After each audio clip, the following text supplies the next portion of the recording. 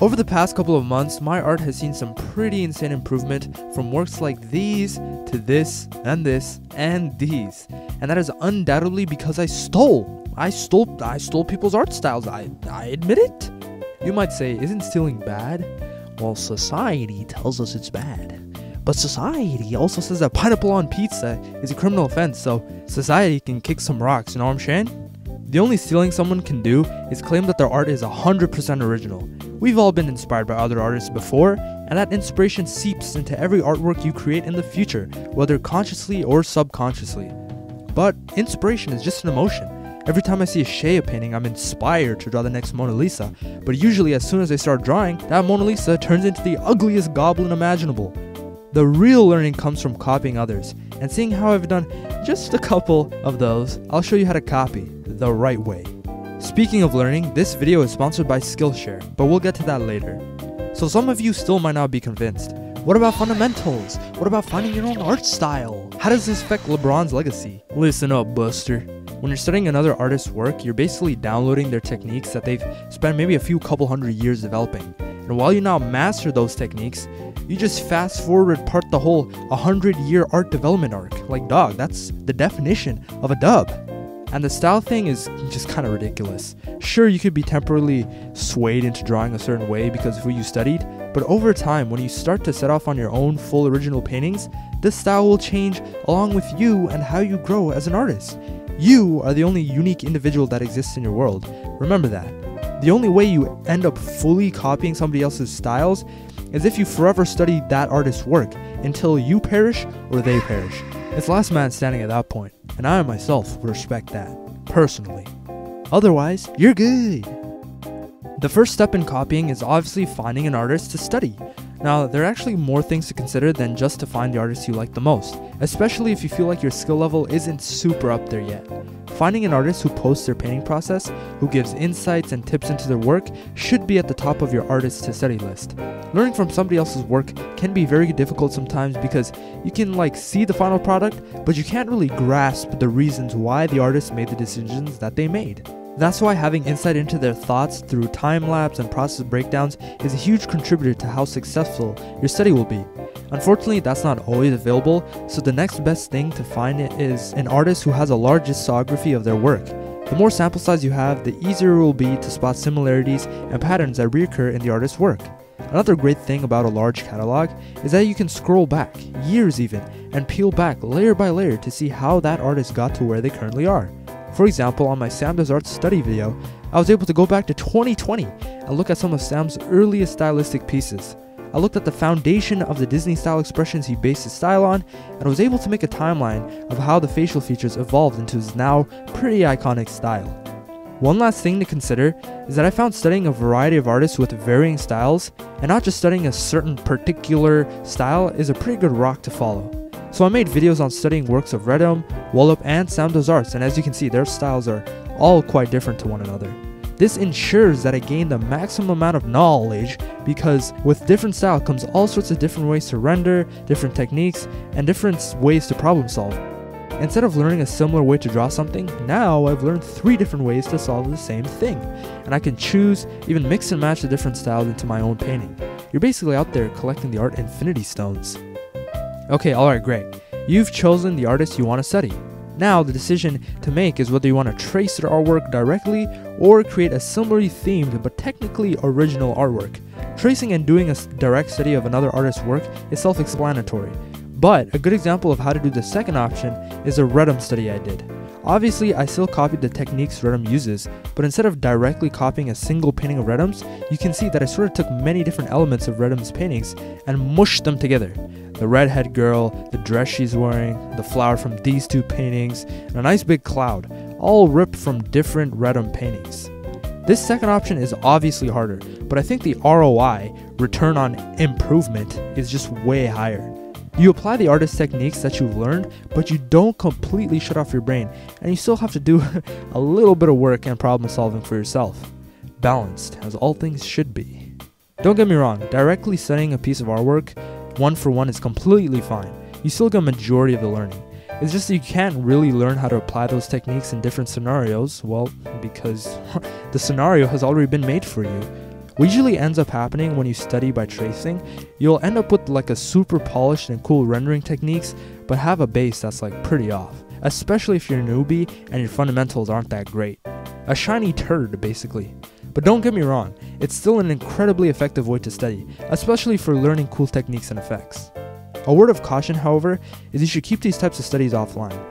There are no rules to art and tracing is a great tool to use, but posting traced work of another artist, even if it's a study, is usually a no-go. If you're breaking down some techniques like in a video tutorial, that's perfectly fine, but otherwise, you should probably keep it offline. Okay, now to actually the breakdown part. It could get overwhelming because there's so many different elements that define somebody's style.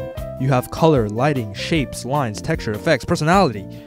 You might even try and study more theoretical elements like studying the artist's layering system or their painting process itself. But I think the best way to approach the study is to just focus on three of those elements.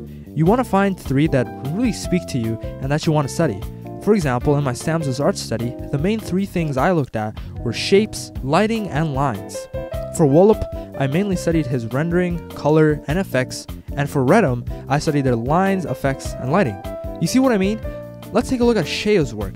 If I were to study Shea right now, I would definitely focus on lighting, composition, and color because those are the things that stand out to me. And make sure you take your time to break down and fully understand how that artist achieves the look you're going for. That could be with writing notes or just comparing many different pieces of work. If you just try and wing it onto the final painting, it'll probably end up looking schmelly. So make sure you have enough background knowledge and some good research before you dive in. You can even do a smaller study and just focus on a single element of the artist's work, a little feet warmer before diving into the deep end.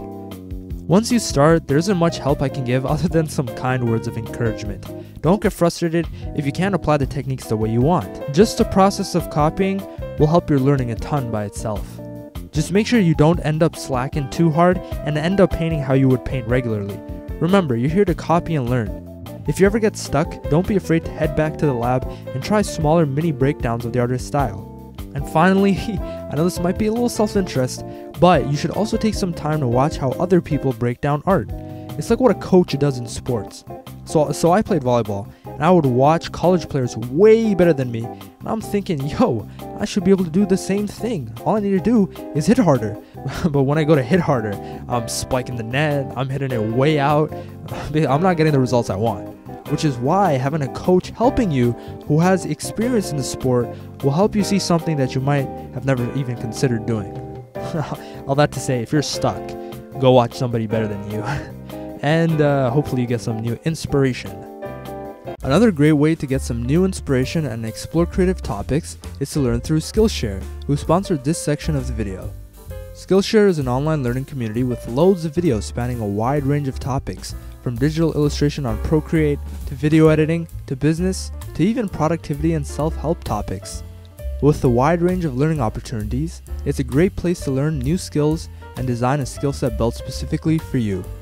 I'm my own boss when it comes to running my YouTube channel, and this productivity class by Ali Abdaal, Productivity for Creators, Systems, Organization, and Workflow, has really given me some valuable new skills to maximize how I produce my content. As someone who's never gone to a post-secondary institution, this class really helped me learn how to organize and find a workflow that best fits my needs. Skillshare is a great place to invest in learning if you're an artist, and the first 1,000 people to use my link in the description will get one month free trial of Skillshare so you got a pretty good shot of trying Skillshare for yourself. Thanks again to Skillshare for sponsoring this part of the video.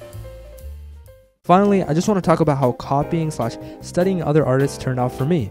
Like I said before, my art went from this to this in a couple of months, and I posted like three main studies during that time. From STAM study, I learned a lot about foundation and base painting. I remember I had an epiphany during my study and realized that Sam always got like 70% of his painting done in like the first third of his painting time. I used to put on a bunch of hoopla and tell myself I'd be able to fix it later on. And uh, while sometimes I could, most of the time I've made a severe and continuous lapse in my true drawing capabilities. After that city, I was able to become a lot more efficient and feel a lot more confident early on in my paintings, giving me a boost of morale, making sure my didn't quit halfway through the painting. From WLOP, I really learned an incredible amount in rendering and how to draw faces. WLOP just draws incredibly beautiful smooth faces like the ones you see on Roman statues, which is what I wanted to replicate. And don't get me wrong, the WLOP study didn't just help with faces. While I think Sam helped me with like the first 70% of rendering, WLOP helped with that final 30% to give me a nice polished look in my recent paintings. And from Reddum, I learned just a ton of cool techniques using strokes and color effects, curves, and stuff like that. Although I don't think I've fully implemented some of those techniques I learned from Reddum yet, I just think having them in the back of the noggin, another tool in the tool belt never hurt nobody. I've also noticed that I'm starting to be able to just focus on adding my own personal elements into my paintings.